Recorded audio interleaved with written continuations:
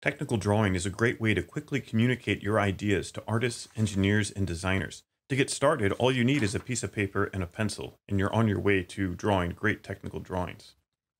But there are a few tools that will make your technical drawings more precise when they need to be. The first is a drawing board. This can be any piece of board, just has to be smooth on the top and have a straight edge. You can use the side of your desk if it is smooth and with a straight edge.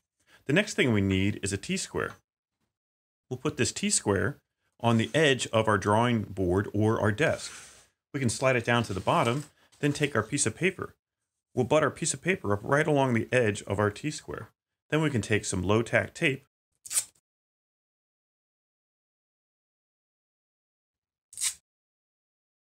and tape down the corners of our drawing paper. This will keep our drawing paper in place while we use the T-square to draw multiple parallel lines. Now we can take our pencil and we can quickly draw parallel lines by sliding the T-square along the edge of the page. The next thing we need are triangles. One triangle is a 45 degree triangle. We'll use this to draw three angled projections. So with this, we can draw all the way from the edge and we'll get a nice 45 degree line. The other triangle that we need is a 30-60 triangle. This triangle is used for making isometric drawings. So you can start along your horizontal and you're going to get that nice 30 degrees. Then you can flip it over and draw the other way. And now you're ready to make your isometric projection. Another tool that is very useful is a compass. We definitely need a compass to draw circles, arcs, curves, ellipses, measure in between different segments, find the center of things. So a compass is an indispensable tool.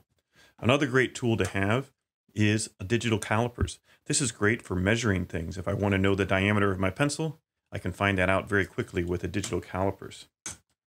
You can also use a mechanical pencil. It's a great thing to use. If you're using a standard pencil, you can have a more expressive line, but you also need a pencil sharpener. Any pencil sharpener will do.